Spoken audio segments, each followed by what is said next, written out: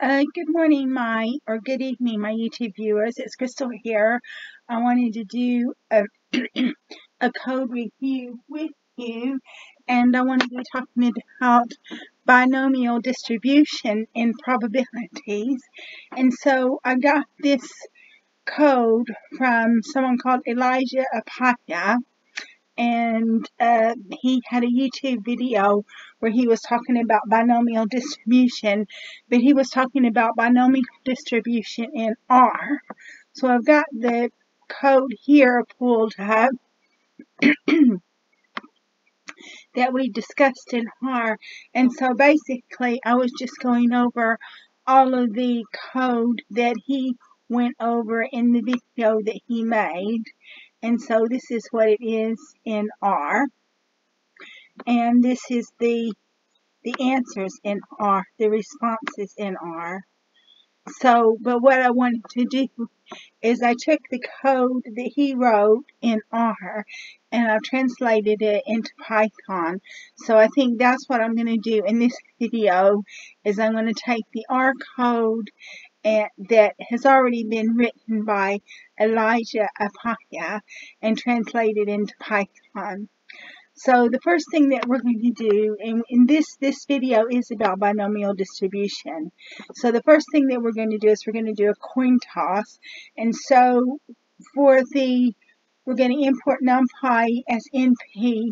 So n equals 1 that's your number of tosses, and P equals 0.5, which is 50% probability.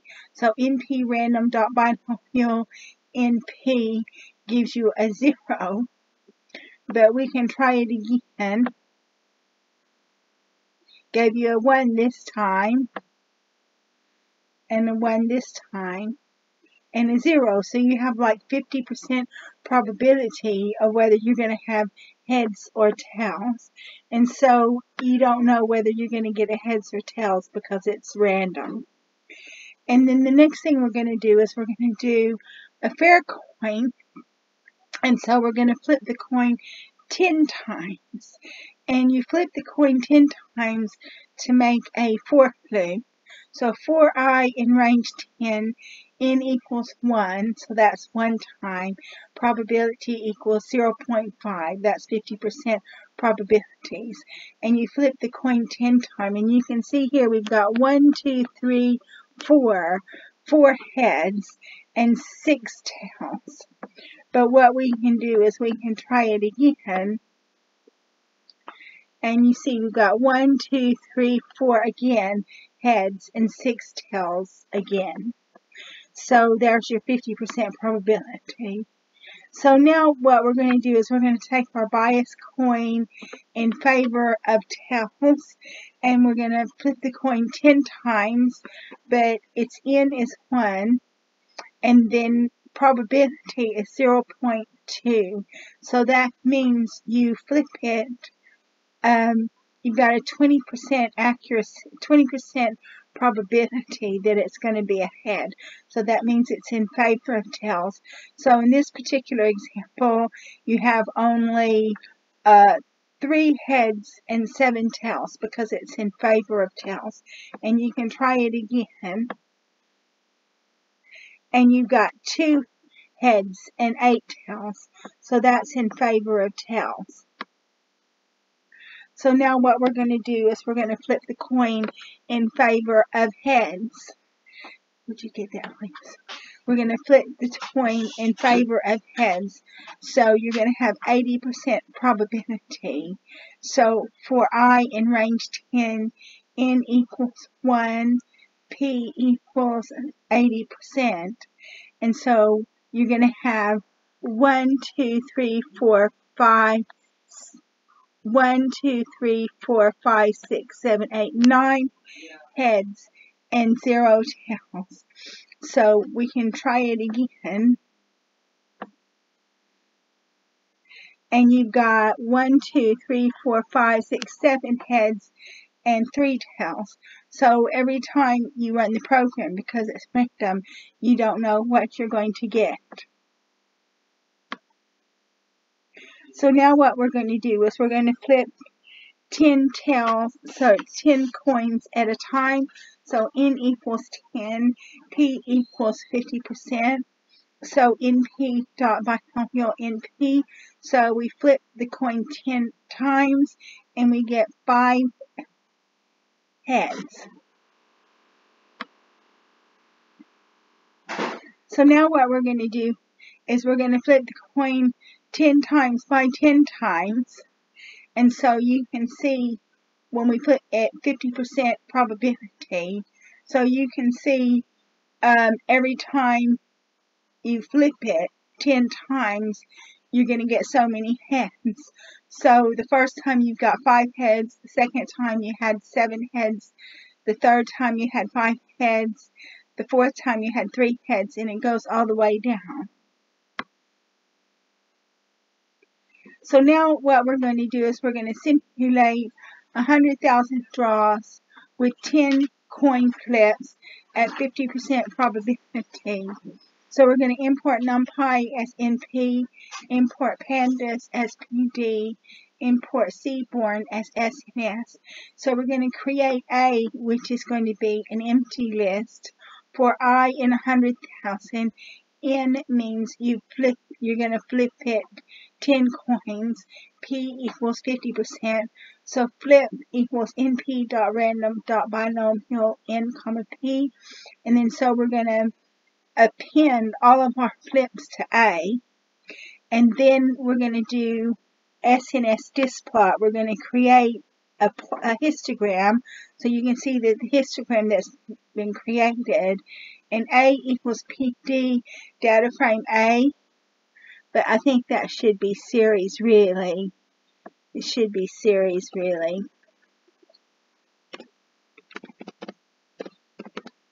and then print A value counts len A. So you've got a value count. So uh, you get five more than anything else, which is close to 25%. Print mean of A. So your mean of A is a five. And then you see you've got your hist histogram. But we're going to try this one time since I've made this a series.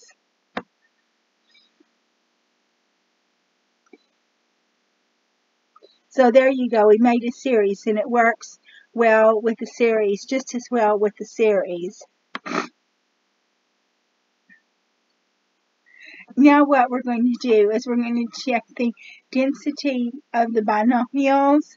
So in order to do that, we have to import scipy.stats. So from scipy.stats, import binom. So for five heads, with a 50% probability. It's going to be print binom.pmf k equals 5 because you want 5 heads.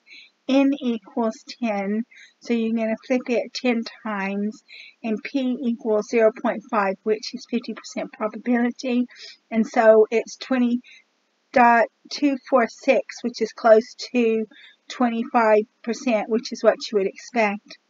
So now if you want 10 heads with 50% probability. The K equals 10, N equals 10, P equals 0.5, and then so your probability is 0.0009. So you're going to have a very low probability of getting 10 heads.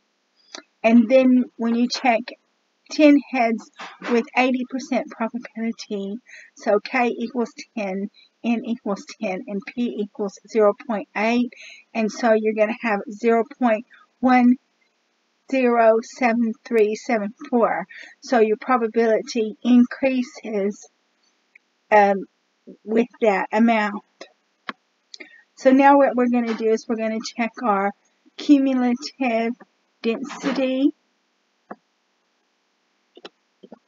So probability of getting four heads or less equals binom dot CDF k equals 4, n equals 10, p equals 0.5. So you're going to have a 0.3769 probability of getting 10 heads or less, or 4 heads or less.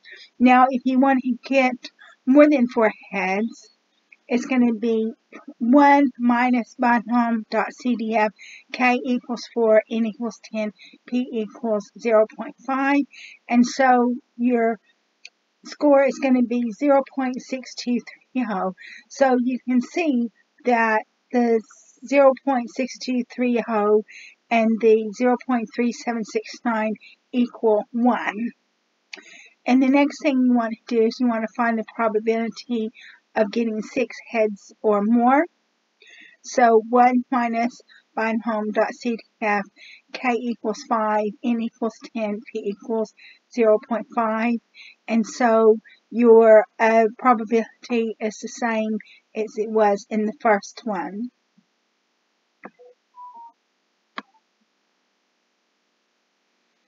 Now what we're going to do is we're going to find the mean and variance of a simulation.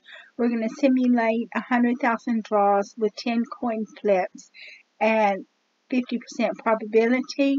So we import NumPy, Panda Statistics, and CPER. And so we're going to use the same for loop that we used before, but we're just going to print the mean. So print mean of A, comma, that's going to be np.mean A, and that's going to give you a 5.00203 and then we print variance of A which is going to be um, 2.49 and again we've made a histogram so you can see the histogram and 5 is your highest. Uh, we're going to do another piece of code where the expected value and variance of binomial distribution of 100 coin flips at 30% chance of getting heads. So we import our libraries. We use the same for loop that we have previous used with the exception that the probability is 30% and not 50%. And then so we do a histogram of that. You can see the histogram.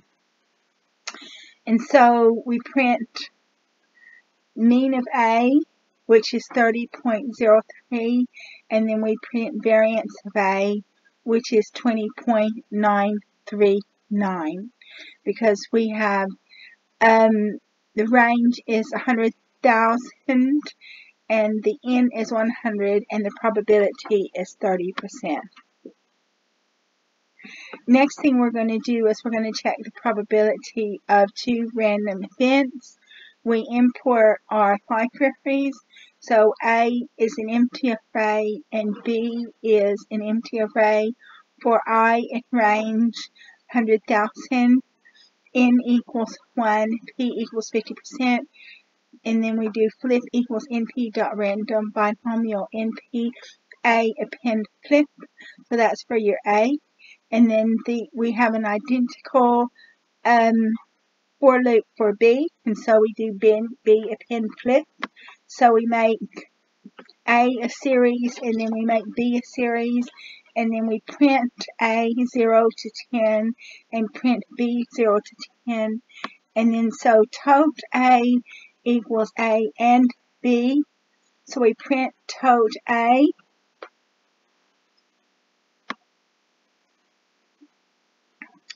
So we, we print tote. So you get your tote here, 100,000. But we also print tote dot value counts. So we had 75, 245 zeros, and 24, 755 ones. And the reason why is because if you have two, 50% probability of two events, and the two 50% probability each of two events, then it's going to be 50% times 50%, which is going to give you a 25% probability that both of those events are going to occur. So that's why you have about close to 25% ones, which is your head, and close to 75% zeros, which is your tails. So now we're going to do the same thing. We're going to have a probability of two random events. A is 20%, B is 70%.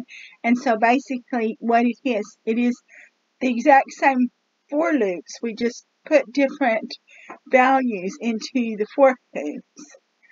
And then uh, when we put the different values into the for loops, we do tote A and B equals A and B, print tote A and B, and then we print our value counts. And then when you print your value counts, it's going to be 14061, which is your heads, and 85938, which is zero, which is your tails. And the re and the reason it comes up with that because um 20% of 70%. So 20% of 70% is about 14%. And that's how it comes up th with that figure. And it's proved it with the computations. So now what we're going to do is we're going to check the probability of two random events, A or B, because the previous code it was A and B, and now it's going to be A or B. So we're going to use the exact same for loops that we have previously used with A and B. And your tote A and B is going to be A or B. And your print tote A and B. And then you've got your value counts. So you've got 74, 8, 7, 9 ones, which is your heads, and you got 25 1 2 1 zeros which is your tails and so what that means is rather than having A and B, which is means that both A and B had to be a 1, so you only had 25% of that. Now it's A or B, so A or B can be a 1. So now your probability increases up to close to 75%. So now what we're going to do is we're going to use the exact same code that we used before, but the probability in A is going to be 60% and the probability in B is going to be 1%. But we're going to use the exact same for loops for that. And so we check our tote, AB equals A or B. You print your tote AB, so we printed that, and then we print our AB value counts. So we had 1 is 64019, which is your heads, and 0 is 35981, which is your tails. And now what we're going to do is we're going to multiply random events. So this is a little bit different. So we're going to import our libraries. X is going to be a blank array an empty array. We're going to have um, one for loop of 100,000 iterations. So n equals 10 and p equals 0.5. And we're going to randomly flip it. And then so we're going to check our mean and our variance. So your mean is 4.99, which is close to 5, and your variance is 2.5. So you check your mean variance. And the next thing we're going to do is we're going to add two random events. So we're going to import all of our libraries. And now what we're going to use is X and Y are going to be blank arrays. And the uh, for loops are going to be exactly the same, except we're going to append the data to X and we're going to append the data to Y we're going to create a series from X and Y. And then what we're going to do is we're going to check, print the mean of X, which is, um, see, the mean of X, which is 4.9, and the variant, variance of X, which is 2.48. We're going to check the mean Y, which is 5, and the variance of Y, which is 2.5. And then what we're going to do is z equals x plus y.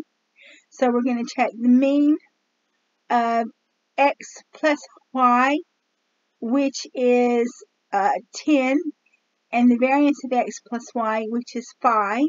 So when we take the x plus y, uh, we just add x plus y. So your mean is going to be double that in this instance. And now we check the mean of z because we created z equals x plus y. The mean of z is 10 and the variance of z is 5. So the mean of z and the mean of x plus y are the same and the variance of z and the variance of x plus y are the same as well. And so these, these are just exercises that we did for binomial distribution to get the feel of binomial distribution. And I got these exercises from Elijah Apicus uh, and he did those in R, and I just translated them from R to Python. And you can see here's the code in R.